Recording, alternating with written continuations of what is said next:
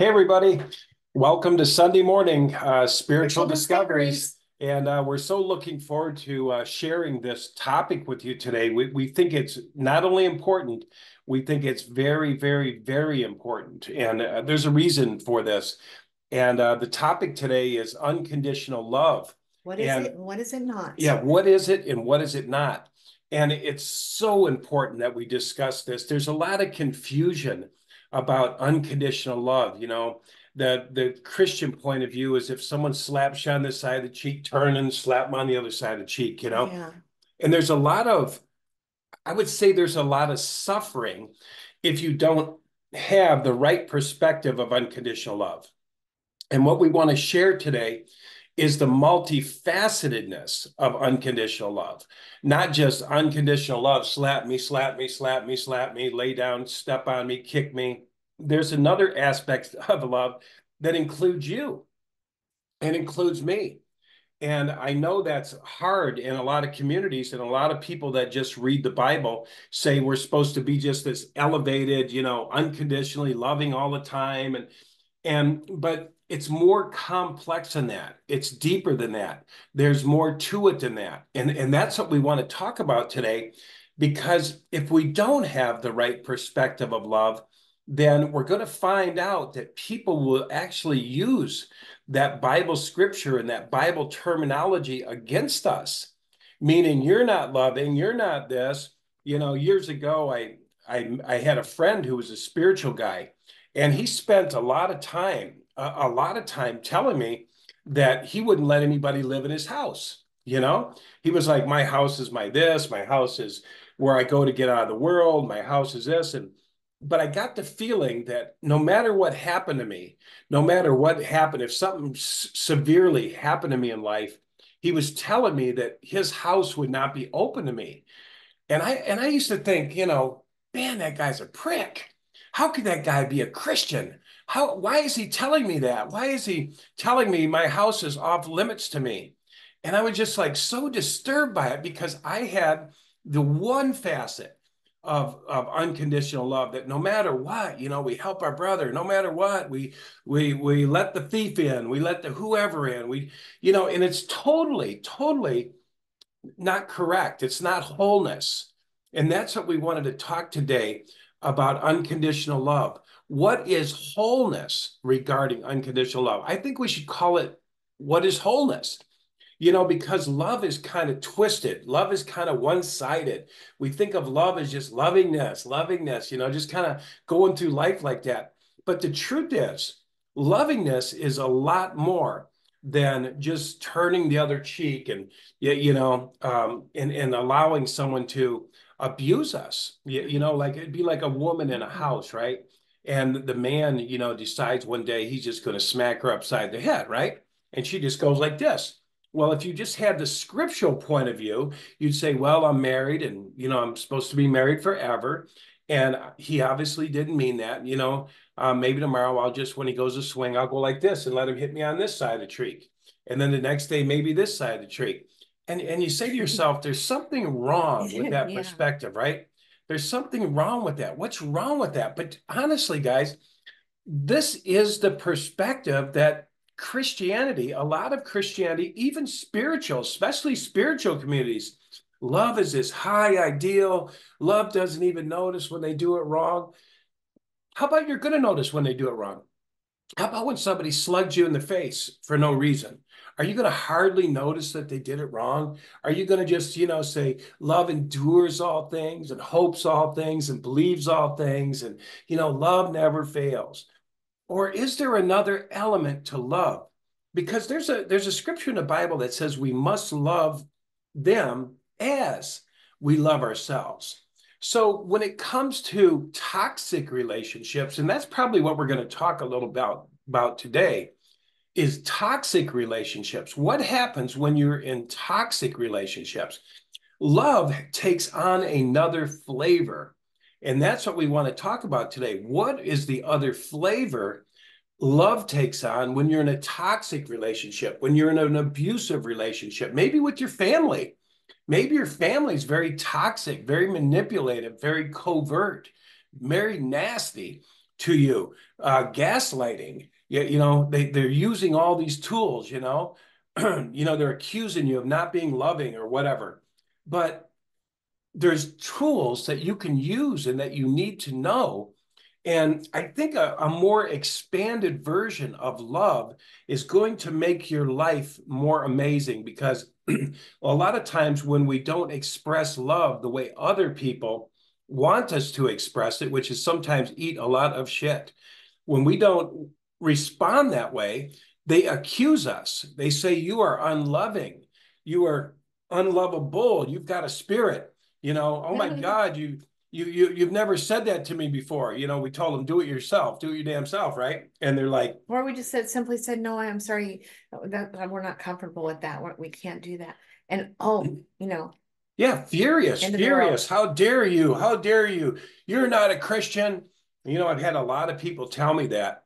Yeah, you know, over the years, you know, you know what I mean. We've helped a lot of people, and uh, we've helped some homeless people and uh, when when it came time to say, hey, um, you know, did you go get a job? Yeah, you know, a couple of years ago, we had a uh, we were helping somebody. We saw him pulling out shoes out of a church, and we went to help him. And anyway, for whatever reason, we found out where they live, and we drove over there. And they were they were living out of a hotel, and the guy was going to get a job, and he needed shoes, so we, we bought him a pair of shoes and uh, he was really grateful and really humble. But then we we went behind the hotel, there was full of beer cans and tons of beer cans and stuff, and we're like, "Oh my god," you know. And I said, "Hey, dude, are you, are you drinking?" He said, "Yeah." He said, "What's your business?" And I said, "Well, if you drink, you're probably not going to be able to keep that job." And you know, we got the we got the riot act. You know, you're not Christian. You're you're not, you know, you're not a good person. Or you tell somebody who's on the street um, we had somebody who was living on the street under a bridge and she had a dog and she said she had a sister in town and i said well why don't you move in with your sister and uh, she said uh, she said well i have this dog and i said well you know why don't you put the dog in a pond or give it to somebody who can take care of it you know how dare you how dare you you know and then her boyfriend who was sort of under the bridge you know, we were telling him, he, she's like, well, he's got a record. And we are like, well, you can drive truck. We, you know, Angela's worked in the jail and teaching life skills, teaching life skills. So, so she knew those jobs you could get for people who had records and, you know, people who had sex offended, they, they could be in trucks, they could drive trucks. And so we suggested you know, that they get a job driving trucks. And it was like, how dare you not understand us? How dare you?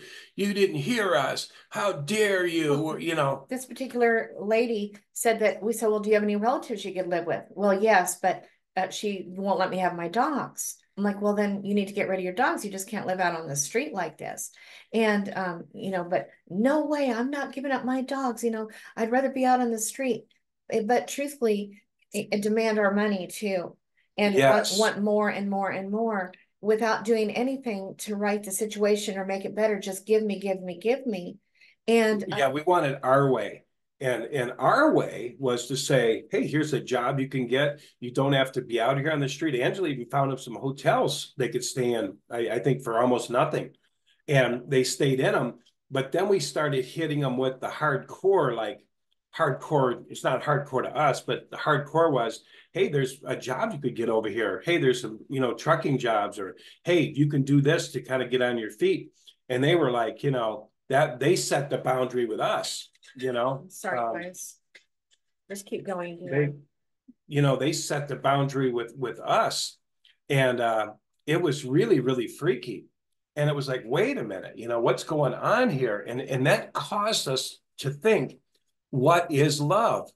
You know, we gave some people one time we we helped them get a hotel. They were freezing outside, and they went in and we we bought them some I don't know jackets or something. Yeah. They're really cold. Take took yeah took care of the hotel bills. What we did, we didn't give them money. We just paid for the hotel room. But the next day there was damage to the hotel room. They went in and partied and they had all their back, friends. They took back the coats we got and they got the money and they bought liquor and uh, that's how we met this other lady that we were trying to help.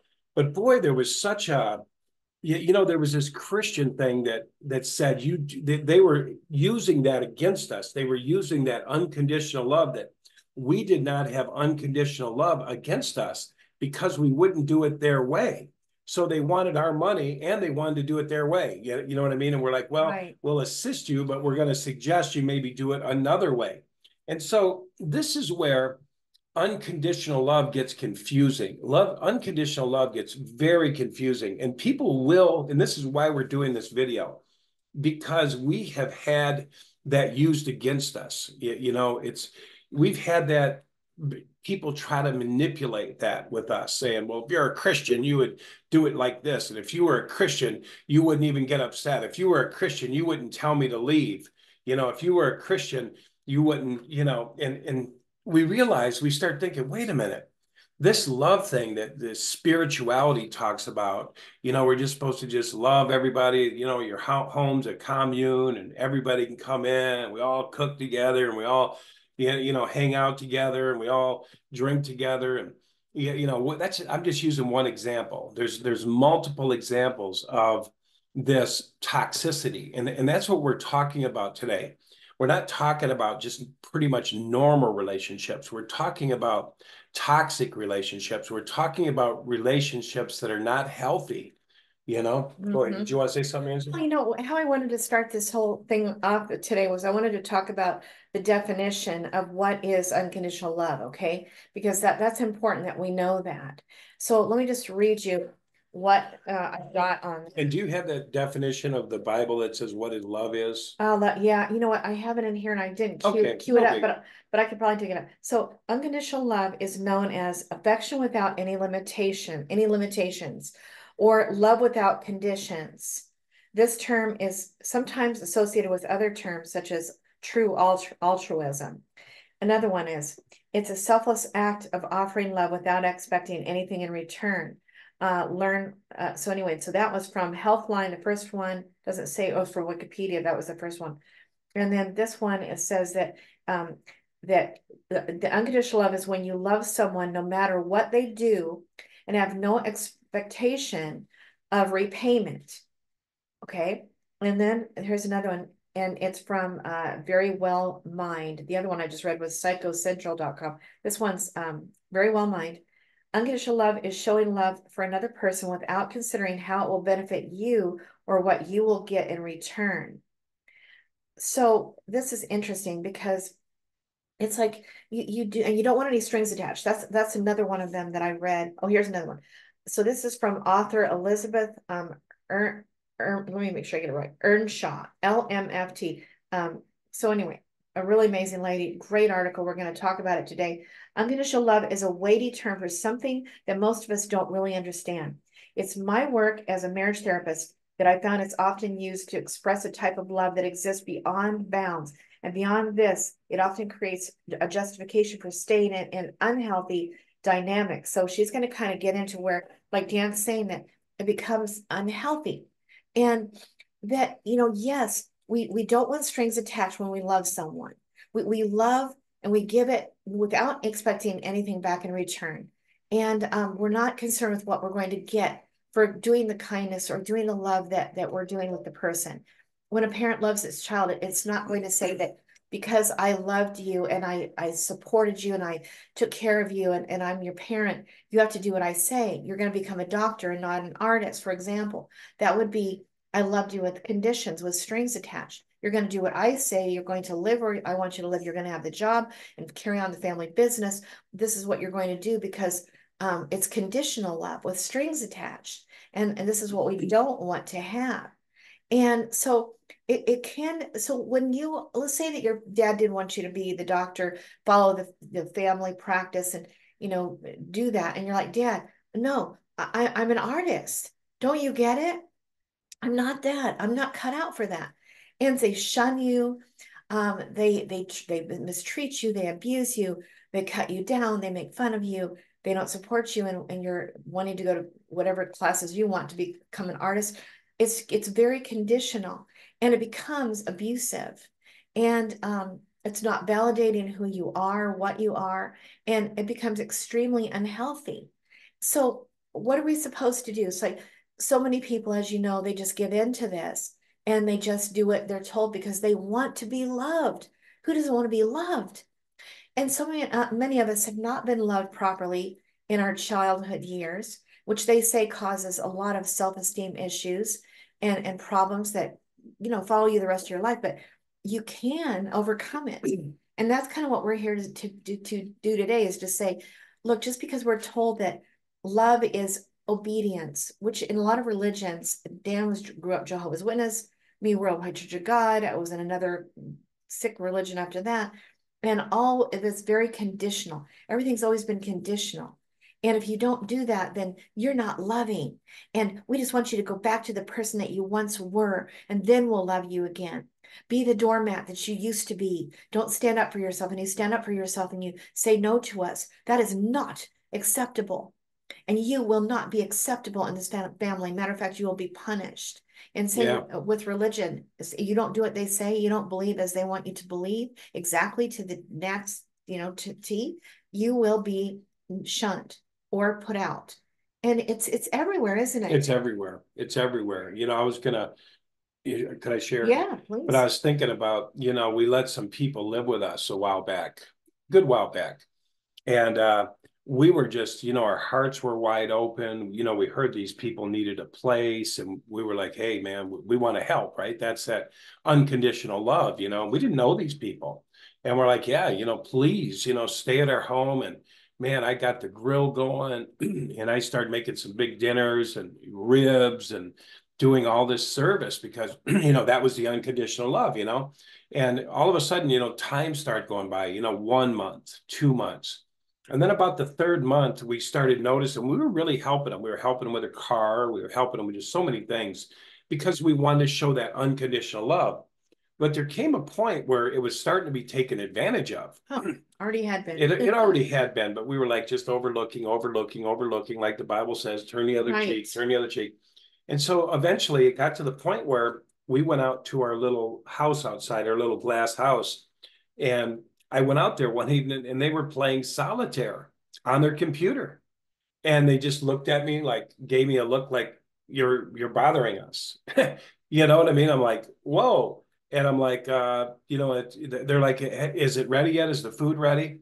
And right then I said, what am I doing? What's wrong with this unconditional love that's happening right now? So I asked him, I said, well, you know, guys, I uh, just want you to know, and this is very, very hard, right? Yeah. It's, very hard to tell somebody it's time to go. And so I looked out at the people and I said, I told them, I said, hey, you know, why don't we wrap this up in a couple weeks? You know, why don't we wrap it up? We got a little trip we're going to go on and, you know, you, you guys can watch our cat. We'll pay us some money. And then when we come back, let's just, we'll part ways. and uh, so we get back. And anyway, long story short, um, they were very, very upset very upset. Their stuff was by the door. They obviously didn't pack it yet. They they had hoped they were going to negotiate with us and and and, and live with us forever. Yeah, and people and, really think this. They they they say that it's just temporary, and this is again and again what we've experienced. And when they don't mean that. They don't. They they want to. I, they want to stay out of work as long as possible a lot of the time. Yeah. Unfortunately, that's what we've experienced. So do we just keep on letting it be that way and let them just n- not work, not participate, not pitch in, not provide, not cook, not clean, not anything, and just take, take, take, take it and being taken advantage Yeah, of? there's something wrong with that. There is something That's wrong not with that. unconditionally loving, and it's not unconditionally loving yourself. No, So we got home um, I said, well, okay, thank you guys, and here's some cash, and thank you. And she says, well, you know, we weren't exactly thinking this is what how we want to do it. And I said, well, you know, this was our agreement. And anyway, she starts throwing this stuff in the car, really, really angry, you know. And I said, well, I'll help her, you know. So I went out to help her, and she told me to told me off, told me to get effed, and you know, I'll, I'll she do didn't it. want any help. Yeah, I'll do it myself.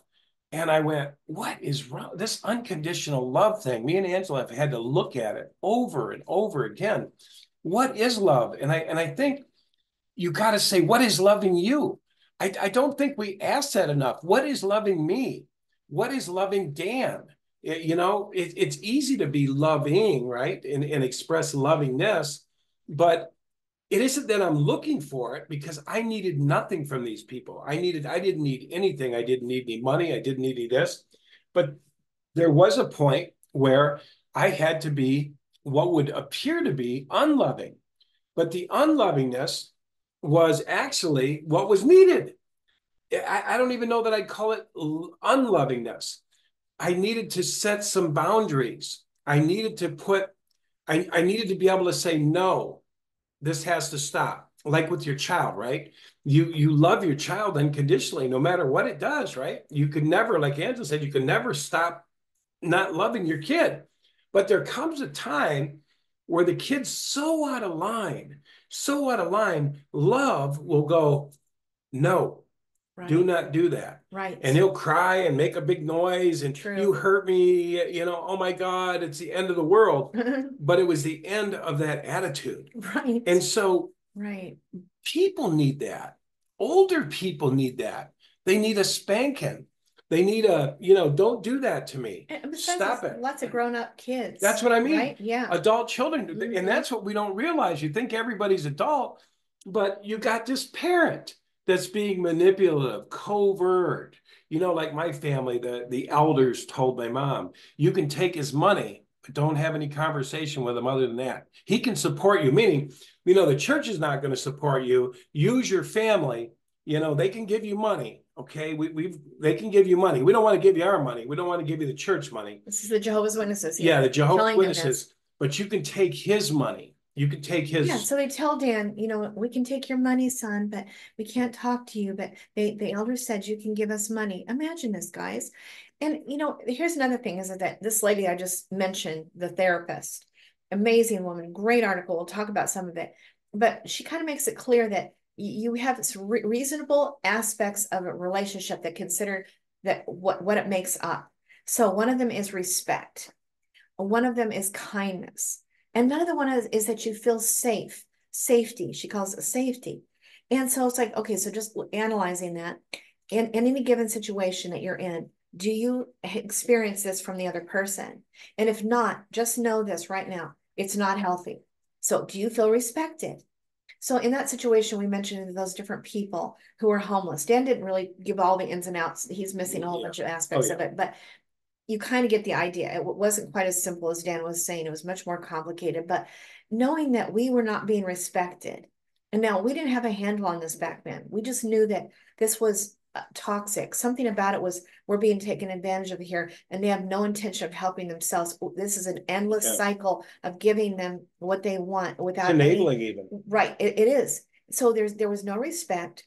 Um, there was no kindness on their part. There they were actually uh we were entitled. they were entitled. that's what i was going to say yeah they were entitled. They wanted us to forever give because there was nothing on their part that they were going to change at all. Nothing was going to be changing on their end just us being the cash cow. That's it. So now we don't feel safe.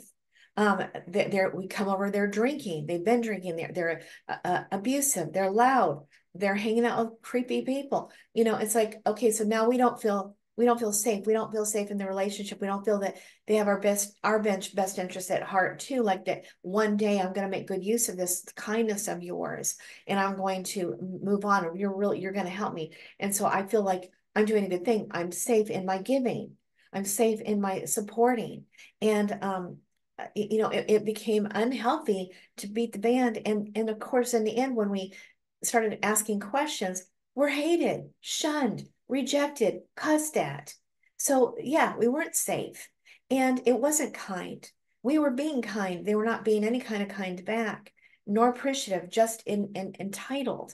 And we were not respected because they intended to do nothing to make things better, which was our intent in unconditionally loving them.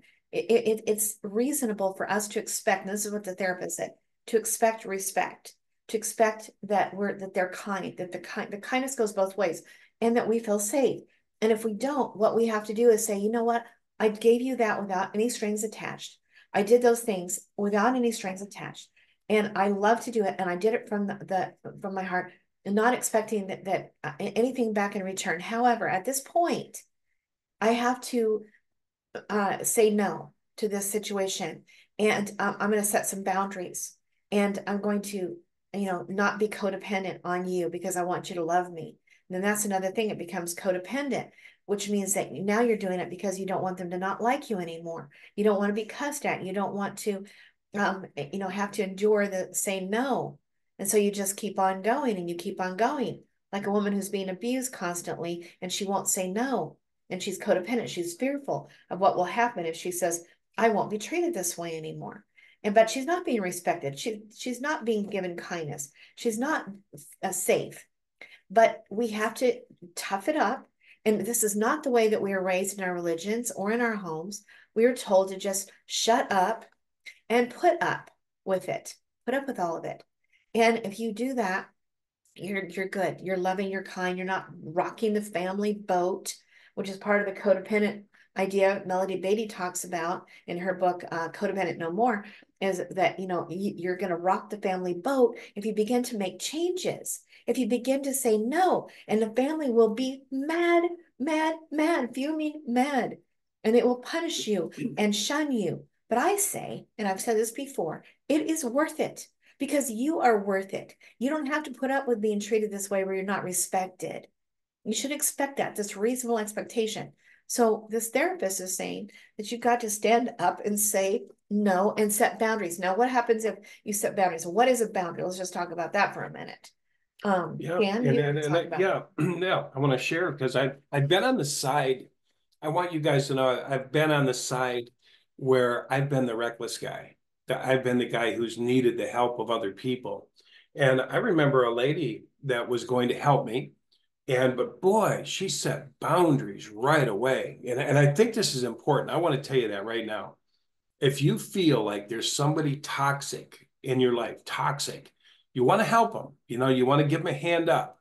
You are going to have to set boundaries right away, especially if it comes to your house.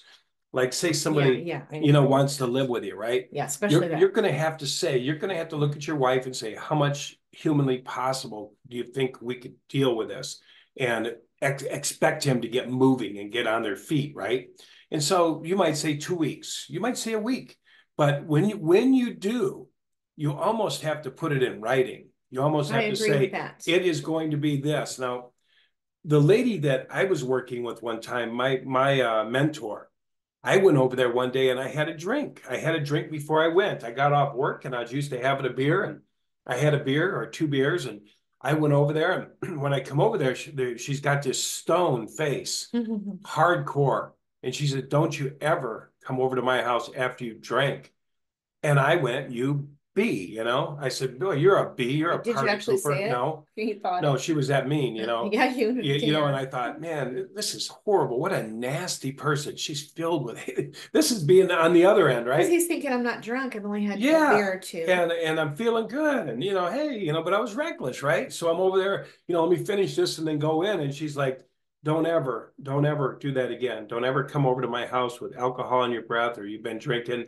If you come to my house, you're going to come here and it's like respecting their house. Yes. But being on this side, I thought, you're rude, you're nasty, you're curt, you're hardcore. Why are you like this? Why can't you be? but I have learned now that now we've that, been on the other side. On this it. side, no, no, no, no, no, no, no mm-hmm. drinking in our house. No, no, no, no, out in two weeks or whatever. Yeah. You set these parameters and you have to. And that is very loving. I think it's loving to let someone know ahead of time. Look, in our house, um, we don't want you drinking. Um, that's off. That's you, you know, I've been in alcohol myself. I know what it does. It it it it slows everything down, right? Right. And so or whatever other parameters that you have. Yeah, no whatever smoking, other parameters you look no, down, no, no smoking, no whatever. Right. And and you set them up front as an expectation. And I think you have a very sober time and you say, here's what we expect. You may even have them written out. You could have people sign them. But if you do this ahead of time, then you're going to be less apt for somebody to be super furious, angry. They can see up front this is a person who can speak their mind. This is a person who can set boundaries. This is a person that's going to hold my feet to the fire. They're not just going to let me come in here and not just pushover. Not a pushover. And, and, we're not enablers. And we're not enablers. And that is loving us. Right. That's self love. Yes, self love. I think as Christians and spiritual people, we think we have to hold this other expectation. And usually it's the expectation of the other person that we're trying to live up to, not righteousness or rightness. Rightness is helping a person get on their feet, get a job, and move on, or whatever, right? Or giving them a meal, or giving them a few dollars, or whatever. Encouragement, whatever else you Yes. can give.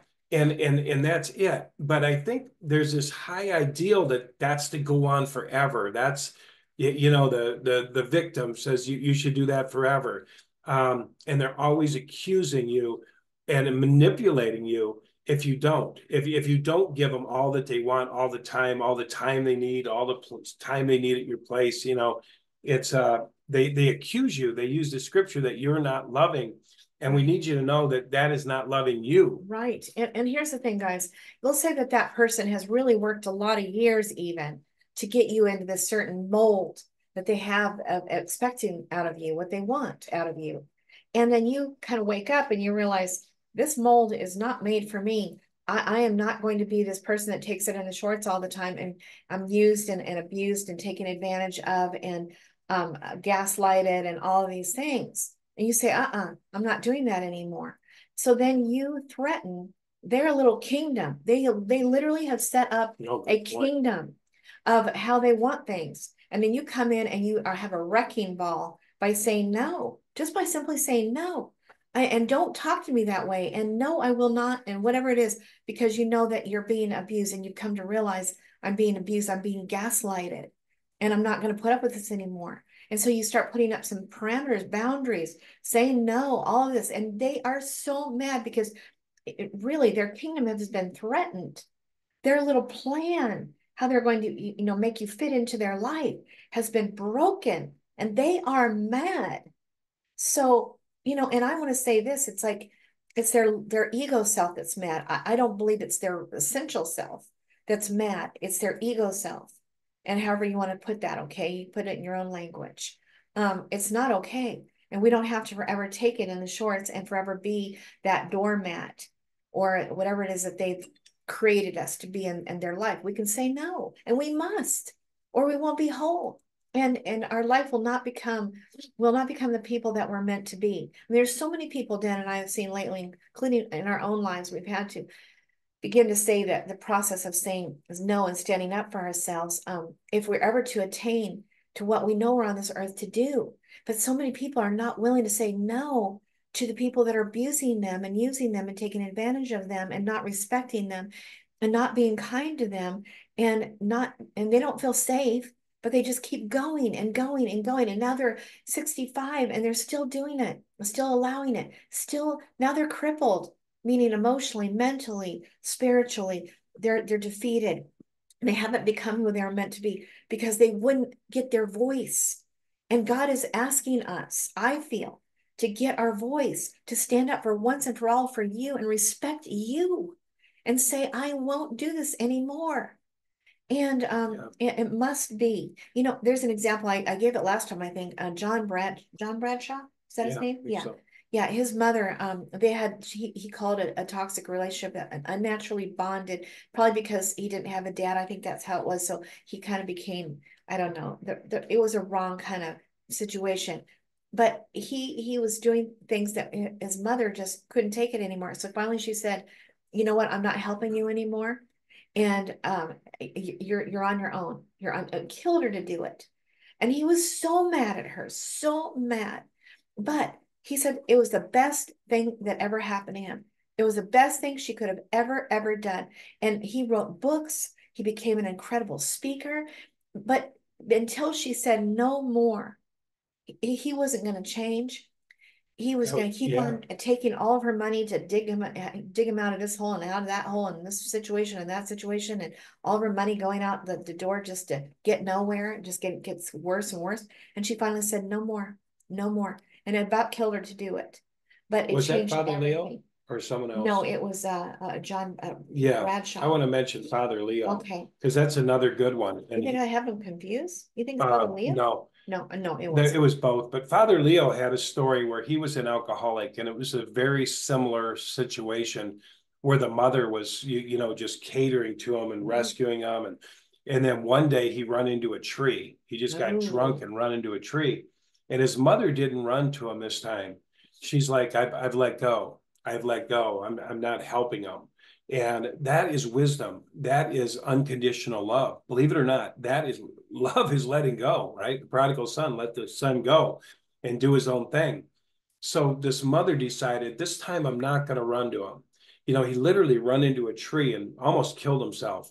And she says, I release him. I, I give him to you, Lord. Like, like I'm not going to save Maybe the world. That's the story that I'm thinking It, of. it could be. And then he wrote the book, The Wisdom of Letting Go. Mm, That's what he wrote, The Wisdom of Letting Go. mm, that And he wrote about, and he said this, he said, the day I got well, think about this, was the day my mother let me That's go. the story. Yeah. Okay, so I'm sorry. guys. Father Leo, that's okay. Father, uh, uh, Father Leo. Leo. What's his first name, Dan? I don't know. Okay, They just Father called Leo. him Father Leo. He went around and spoke at all the churches. But he, he was talking about unhealthy codependent relationships where you think you got to save everybody. And I think that's what Christianity, you know, and and in the new age movement is about we got to save the world. We got to go out there and help everybody get Christ consciousness as, as if I can do it. But part of a, it's our responsibility. yeah, help part of helping someone find God is letting them go and letting them hit the bottom. You know, they talk about that crash, and you know, let them crash, get out of the way. The the prodigal son never chased his son down the road. The prodigal son gave him his necessities, sent him down the road, didn't hate him, uh, wished him well. Um, and then when the boy returned, the father accepted him back. But life needed to do to that son what life needed to do.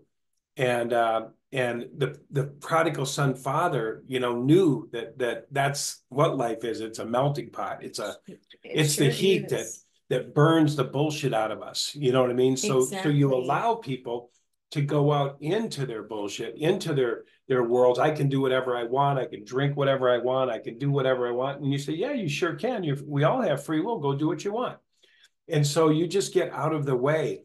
And that's what this mother finally did. After years of catering and oh baby oh let's fix your car. Oh honey let's go do this.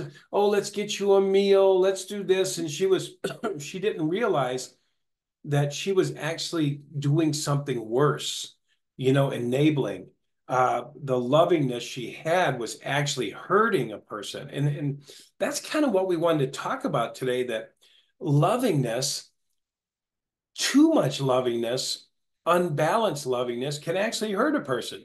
If you have somebody drinking themselves to death and you keep giving them money because you think that's love, that they need a drink and they're crying, and you say, Well, by God, let me give you some money and go down, you can go buy another six pack or 12 pack or or a fifth of a bourbon or something, right? You think that's loving, but it, that is not loving. Actually, loving in this particular case, in that particular case with an alcoholic, is saying no. Lovingness is saying no. Unconditional love is saying no. And so we've got to get into this. We've got to be able to look at it from this point of view. We've really got to be able to say, what is love in this particular situation? Do I keep fixing his car? Do I keep doing this? Do I keep giving him money if he's not working? Is that loving? Exactly. Or is this other loving? Go Or ahead. do I Lisa. keep on allowing myself to be abused and um, put down and cut down and uh, you know, doing everything for that person and there's nothing, not, not that we do it, again, we're not doing it because we want something back in return. No. That's not why we, that's not the healthy love. But, but there are certain expectations. And I did find that scripture, it's um First Corinthians thirteen, I'm gonna read to you what it says about love. In verse four of First Corinthians thirteen, love is patient and kind. Love does not envy or boast. It's not arrogant, not rude. It it does not insist on its own way. Hmm, that's an interesting one. It is not irritable or resentful. It does not rejoice at wrongdoing, but rejoices with the truth. Love bears all things, believes all things, hopes all things, endures all things, and it never ends. And um, anyway, but I know absolutely that I've learned. See, that's that's the Christian scripture that we had to go by. See, it's long suffering. It hardly notices when others do it wrong. That's another version of one of those lines in there. Hardly notices when others do it wrong. Um, it's not boastful. It's not proud. Um, it's not selfish. It's kind. It's gentle. See, so that's where Christianity has taken it down the wrong road because it, it didn't like set any kind of boundary. So here's where we're going to go with this. Jesus didn't just, he was not a humble, meek. People get mad when I say this. Jesus was not a humble, meek, mild only guy. He was both that and he was patient and kind and forgiving and all of that. But he's also bold and strong and said, No, you know, this is what you're doing to these people. You're accusing, and you're full of sin yourself, and you're ready to throw the stone at her when you have the same things you've done in your life. Okay, the first person who's, you know, got no sin, you throw the first stone then. And, you know, he just called it like it was. He said, you, you know, you hypocrites, you're, you know, blah, blah, blah. the Bible even says you load people up with burdens and you don't enter in yourselves, you, you priests, and you don't, you don't permit those who are trying to enter into the kingdom to, to enter in because you're, you're, you're in the way and you're you're taking advantage of the people. The Bible talks about it. And Jesus said, "You whitewash graves to the priests, and you know, um, you, you liars, and your father is is the devil." And I mean, he said so many things that we we don't think of him as setting boundaries, saying, "Stop treating the people, God's people, this way." He he made a whip twice and went into the temple and whipped the temple uh, money changers and all the uh, birds and whatnot let out of all the cages and said, "This my father's house is not this. It's not a place where you sell stuff and try to get things from people. It's a place where you come and find God, and it's a house of prayer." That's what he was saying there. And you're making it a den of thieves. And, and he, he didn't mince words. He, he he spoke to what needed to be sp- spoken to when people were being taken advantage of, like in that situation, been going on for years. In fact, it was so bad that you would spend a whole year making your um, sacrifice that was a yearly thing. It was made to, it had to be no blemish, no flaws, nothing wrong with it. And you get it all the way to the temple once a year and you offer it, your special gift. And then they would say, it's not good enough. And they take it and command you to go over there and buy a good one. That's how bad it got. It was really, really sick and evil. And the way that they dealt with what they did get to was sick and evil. And the people were just beside themselves with, this can't be God. That's how it was back then. This can't be God. And the priests were acting like crazy. So, you know, love is not taking it in the shorts. Jesus didn't act like that. He didn't, he didn't act like that at all. That's not the example that he gave. So, you know, we're not expected to just like this, this little example here makes it sound like we just have to take it in the shorts. But that's not the example of Jesus. And um, so we and you know how to tell if you're you if you've been violated, if you're in a relationship and and things aren't right. Uh, what we've noticed, me and Angela, and a lady told me one time that that when you start whining, whining is is they said anger coming out of small hole like the balloon when you blow up a balloon real big and then you go and and so that's what anger is. So usually you'll have anger if you don't set a boundary. Like like say somebody's taking advantage of you and you don't speak up you might just start complaining to each other you know you know that ain't right. I don't think that's right what he's doing. I don't think this is right. And you know that ain't right you know? Anger can out of small yeah hole. and, and you just whine. That is an indication mm-hmm. an indication that somebody has crossed your boundary that you did not set. And, and this is a skill set that you have to have. And that's why we're talking about, you know, what is unconditional love? Because unless you know and you have this skill set, you will be abused. Oh, yeah. You will be conned. You will be used. You will be manipulated. Gaslighted. Um, gaslighted. You'll have the Bible used against you. Mm. But so you you've got to see these things. You've got to see that Jesus stood up to, you know, the Pharisees and he knew they were using the Bible to abuse, to you know, have power over the people, and so that the people could be manipulated and corralled into churches. And so he stood in their faces and he said, "You whitewash graves, you hypocrites, you offspring of vipers, you dead man's bones. Outside look clean, but inside are filthy." And so he spoke to it, and we have to speak to it if we're going to be healthy and we're going to have a good life. We want to have a good life, a, a peaceful life. Amen. We want to have inner peace. We want to have the joy of giving. We, we still love to give, me and Angela. And and it's wonderful to give. Actually, giving is a privilege to be able to give, to have enough to give. That's a privilege. But I got to say, if you don't have the ability to set a boundary, if you don't have the ability on the other side of it to, to say no, if you don't have the ability to set a boundary, you should probably not get into a situation with other people where you're commingling at such a close place. They're in your house or using your showers, or, you know, if you don't have the ability to say no, you know, or this has got to stop, or if you hadn't had the ability right up front to say this is going to happen for two weeks and no more. Uh, like the lady said, don't come into my house and drink. Don't do that. And I will call you. Boundary. I will call you. Don't call me. Mm-hmm. And setting boundaries right up front. Or was it the other way around? You call me, I'm not going to call you. Yeah, yeah she wasn't going to call me. So she's like, yeah. if you want to meet with me, work with me, you call me. We'll set up an appointment, and then you can come over. Even her books if I was to get a book, she had a lot of books. She would sign it out to me. She would literally sign it out.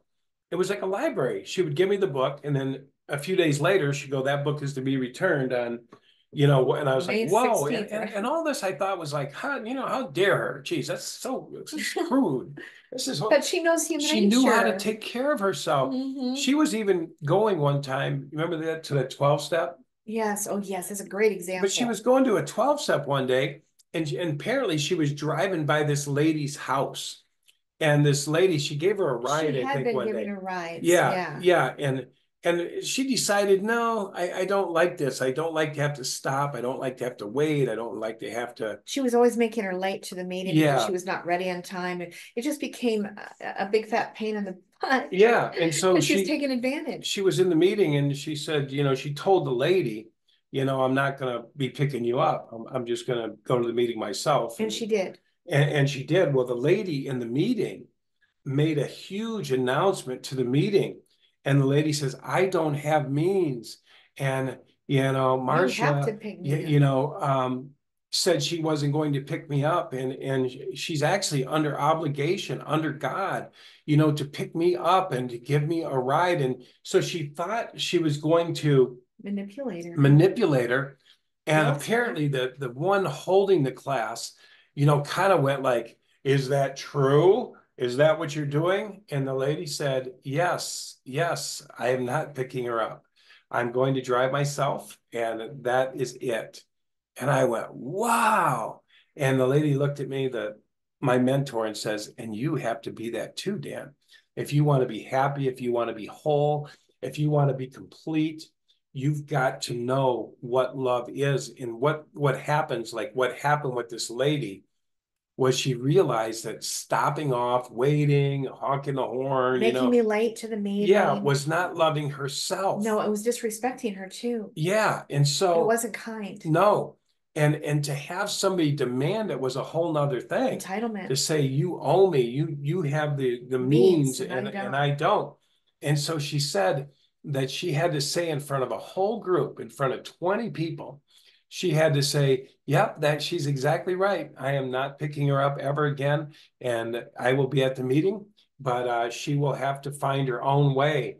And the lady looked at the teacher, and the teacher looked back at the lady, and they go, Well, you know, it's almost like the wow. gavel, right? Well, the, you know, yeah. the judge said, and it was over. And she was telling me that. She was saying, like, that's how powerful, Dan, you've got to be. You've got to be able to do that or or be very careful be very careful yeah, and, and here's what's really painful is is that you tend to want to be codependent in that situation meaning oh my gosh if i say that what i really need what I, to respect me and to feel safe and to uh, feel that that you know i'm that this is right is if i say no they're going to hate me they're going to reject me. They're going to think I'm a B. And this is not going to be acceptable. I can't handle that. And so then they don't say it. They don't say, no, I'm not picking you up anymore. You, you're always late. You make me wait. It's a big to do to get you in the car. Then I get to the meeting and I'm late every single time. And I ask you to stop doing that. Please come on time and on and on. You don't respect my wishes. You don't honor my boundaries. And so I'm not picking you up anymore. But now you have to deal with everyone's harshness that you're that you're not kind, that you're not kind, even though that was not kind was being done to her. And she and and she's not respecting the lady. No, the lady wasn't respecting her. And so now she's got to endure everyone thinking that she's a B. Yeah. But see, that's the codependency you've got to overcome too. You have to say, I don't care what you all think. This is wrong, and I'm not going to do it anymore, or I'm going to be doing it out of resentment, and I'm going to be being taken advantage of, which is not respecting myself because I'm allowing it. I'm enabling this lady to be uh, dishonoring to me and make me late all the time and never pitch in gas and on and on and on. So no, I'm not doing it anymore. And then they just have to deal with it. And you know what? Here's the beautiful part. They will eventually forget about it. They might underline and think, boy, she's tough. But you know what? They also might start to think, wow, she's brave. Wow, she knows how to take care of herself. Wow, I could see kind of see where she wouldn't like this lady. Yeah. Um, and they would eventually they would get it but you have to be strong in your own right to say, I won't tolerate this anymore. I have more self respect for myself than that. Yeah. And I want to say, we're living right now, you, you, you need to learn these skills. Absolutely. Because we're living in an entitlement oh, world. Oh, it's true. And I was, I was watching these things in California that's going on. And what's happening in California is a lot of people are wanting to move out because of the high taxes and because of all this going on down there and weird stuff that's going on. Oh. And there's all kinds of stuff. You know, if you leave California, they want you to pay some of that uh, money that you made in your home back to California. They're trying to put all kinds of laws so people are getting out of there as fast as they can. And so what's happening is these people, you know, like say you move out of your house, they've got people that drive through the neighborhoods and look and they're going, oh, there's a for sale sign. They literally break into your house, these, these squatters, they break into your house, they change the locks, they get in there, they change the locks, and they move in. And I mean, when I say move in, I'm not talking about moving in with a tent. They move in with three, a whole house full of furniture bedroom sets, kitchen, you know. Or just even take over what furniture you might have in there and should it be furnished and then get their mail sent there. Right. But I saw I saw this thing on TV where they had to take care of this. These people are like, how do I get them out of my house? Well, you got to evict them now. And like, what does that mean? Well, it's like 90 days or something like that, you know, oh. or pay them $30,000 to get them out of your house. That's what their options. So, so there was a, if that could work there was a, a new business down there now, and the business is you hire a guy as a person who's a tenant. So there's this new business. You say, Hey, I want to rent this to you, Dan, and I'm the guy who's going to get them out of there. So once you rent to me, I go to the house and say, Hey, I have the papers. This thing's been rented to me. Get out. Now it's so interesting. And this is the kind of world we're living in is the person that's in the house to me illegally broke in, changed the locks, took occupancy, is screaming to the top of their lungs, screaming, This is my house. And the guy goes, Get out. This is my house. How dare you? Don't tell me to get out of my house. Can't you see I live here? And the guy goes, You broke into the house. Get out, get out, get out. And the guy says, Well, I'm going to have to call the cops because I have a lease. And uh, so he calls the cops, and these people are literally being drugged away, screaming.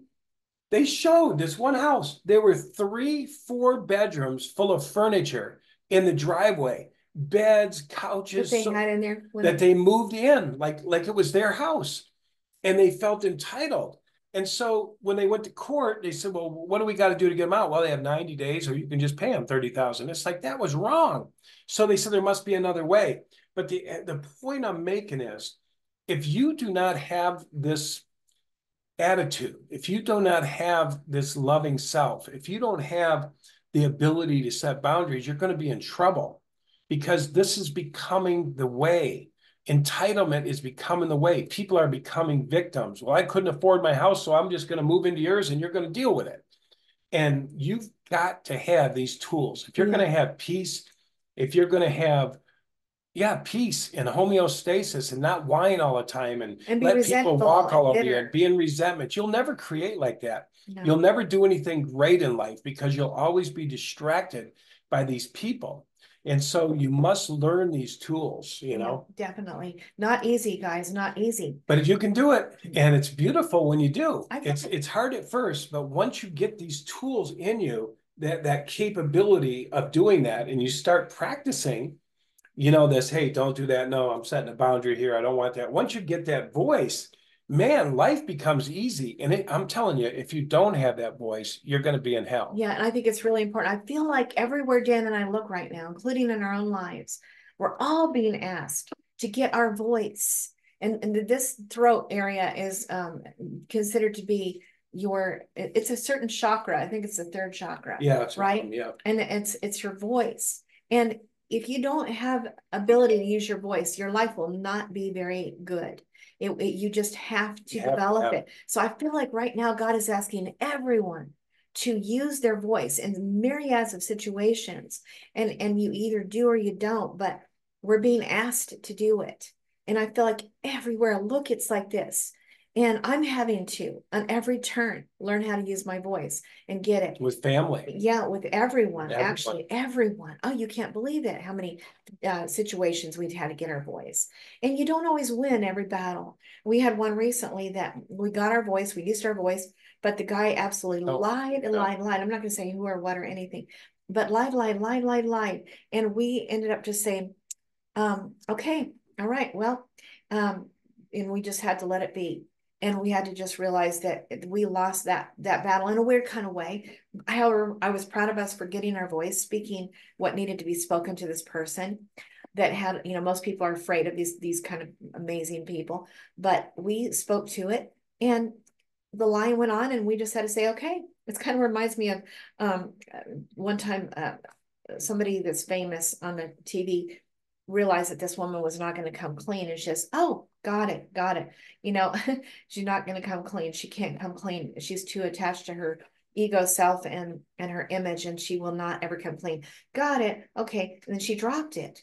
You can't win all the battles um, but you do the very best you can and you feel proud of yourself for trying. Right dan? Yeah, that's right. so And and like I said, life will go smooth. Without it, or, life maybe not perfectly like in that situation you know it wasn't perfect No, but but you know we felt good none of them are we did. perfect. Whenever, whenever you got to set a boundary or it's never perfect, Yeah. it never feels good. Just get used to that. Yes, and people do screw you over and, Yeah. and they manage to get away with it sometimes. Yeah, and and it and it don't feel good. No, And it doesn't. it, it never feels good, even if you have to say, you know, you got two weeks or yeah, you No, know, um, you know, it never gonna feel good. It's never No. gonna feel good. We were, you know, we're on a trip recently and it just never felt good. It was like the work never stopped and it was, it was just free work, you know what I mean? But it just, uh, Not all of it was, but there was Yeah. plenty of it that was yeah, free. and, and we had to say, we're, we're gonna walk away because we were tired, we were beat up and then we came back home, you know? And so, anyway, we just want to tell you that, you know, getting your voice is, is very powerful. Getting your voice is a beautiful thing. And getting your voice will save you a lot of grief. And getting your voice is unconditional love. Getting your voice is unconditional love. You need that voice. You need the voice. And so Self-respect too, and it's unconditionally loving yourself. And that's that's right. also, uh, uh, we must, we must unconditionally love ourselves as well. So odd, I know, it sounds odd, but um, no, we have to do it. Okay, All right. So thank you. that's it today, guys. We just wanted to share that with you and and hopefully hopefully that helps in your future. And uh, just keep in mind that we're living in that kind of world right now where, you know, if you want peace, you want harmony, you want inner peace, if you're able to do these few things, really, it's just a few things, but it takes voice, it takes a little courage Takes a little practice too. take some practice. No, no, it ain't going to be perfect. But if you commit to it and say, you know, this is what I'm going to do because I deserve it, because my wife deserves it, because we deserve it, and we have the right balance, then we're going to have a great life. And that's what, why we wanted to share this. We wanted you to, you to have a great life, to have a good life. And this is part of life. You cannot avoid this. This is part of life, and, and you need these tools. We need them. Yes, we do. So, Yes, we do. so anyway, that's it. I don't know if you have any more to say, Angela. You think we covered it all? Yes, I do, except for just one really remaining thing. Let's just say that this talk has spurred you on to say, you know what? I, it's time that for my sake of my children, for my self-respect, for the respect of uh, my job as a good parent, and the fact that I do not feel that I'm being treated right, I'm not being treated with respect and kindness, and I'm being abused, and I don't feel safe, and my children are not safe. And let's just say that you've decided I've got to draw a line in the sand, and I've got to say no, and I've got to do what I've got to do So my question would be, now you're thinking to yourself, now what?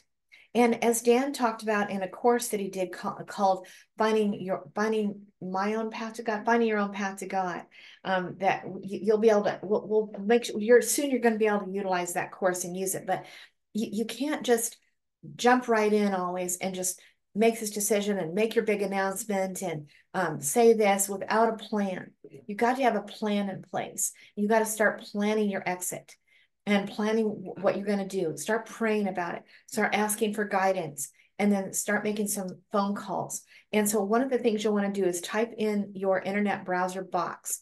Um, if you don't have a use of a computer, get a get somebody, go to the library and ask the lady at the, the desk to show you where and how to search on the internet to get some things printed out. Take some money because they charge you for the printouts on these things. But type in resources and then the name of your city where you want to live. Okay. And then up will pop different kinds of things food banks, um, um, places for women to go to live, to be safe, to start over again. And um, the rescue missions are always really, really helpful. There's there's every kind of rescue mission: Union Rescue Mission, Boise Rescue Mission, Boston Res- Rescue Mission, Denver Rescue Mission. There in all the major cities, almost there's really great rescue missions. They are the best. They really, really do an incredible job. I feel like they're really blessed.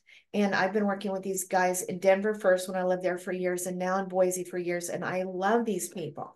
And the Union Rescue Mission, they're all good. That's California. Um, they're all so wonderful. So know that there's help out there. There's plenty of it, especially if you're a woman.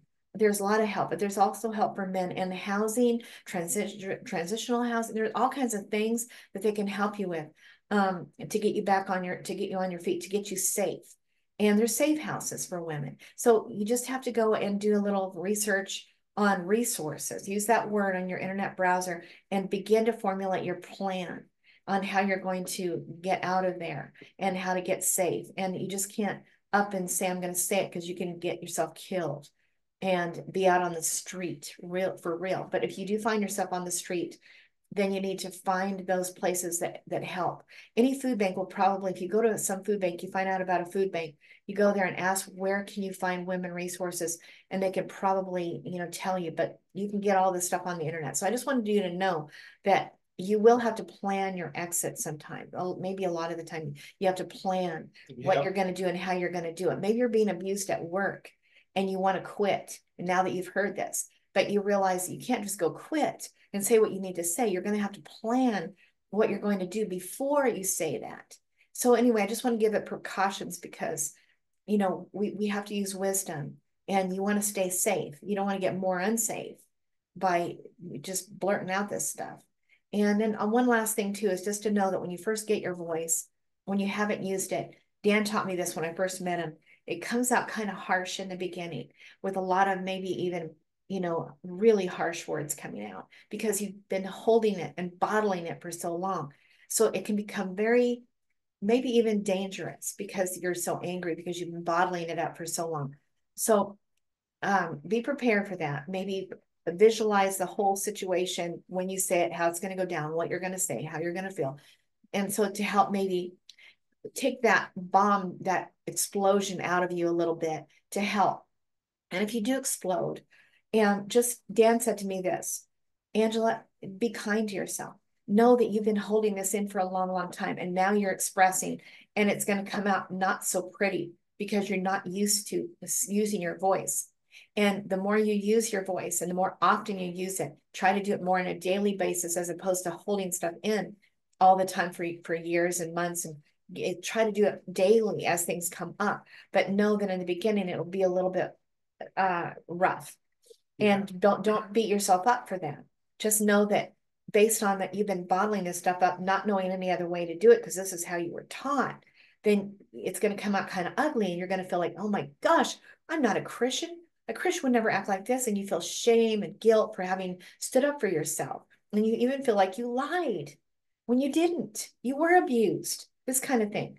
So just know that it might be a little weird and a little strange and you might feel like a real non-christian because you've spoken for yourself for the first time maybe um, but it, it will get easier you will be more softer in your way of presenting it in, in future years and future, you know, down the road, it'll get easier and better and more mature and more wise and more kind and more gentle and, you know, all of it. It will just get better and better and better, but it takes time. So anyway, I wanted to express that because you might make some big changes and you need to maybe be aware that there's some obstacles, there's some planning um that you need to do probably. Yeah, Yeah. yeah. So don't beat yourself up, you know? Yeah. It's what we all have to do, you know, like, like they say, we've all been down that road. So we're just sharing these tools, but hopefully this helped you. Hopefully this will help you keep uh, uh, happiness in your life and joy because Or it'll begin to be happier once you've implemented yes, this stuff. Not at first. Sometimes at first it is hell to pay. yeah, but it's hell if you don't do it. It's Right. more hell if you don't have these tools. I agree. And so, like Angela said, it's a little painful once we first institute these things, but then it, it gets smoother. Eventually, it, it does smooth out and it becomes a, a beautiful ride and it gets easier and it, it's, it's cool. It's really Yeah, cool. Just, just pray for wisdom, pray and ask for guidance and then sit and think about what guidance is coming into my brain to implement and then write it down and then start implementing the thoughts that are given to you. Those thoughts are coming from the guidance that you just asked for. And believe me, you're heard.